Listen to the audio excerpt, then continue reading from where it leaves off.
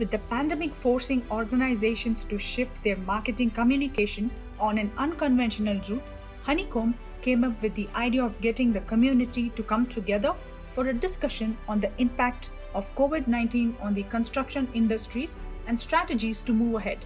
The webinar was well received by the audience, and hundreds of people were keen to join and be a part of the webinar. With positive messages and reviews pouring in even after a week of the webinar concluding, the client is still overwhelmed with all the success and is planning on doing more such webinars with industry experts.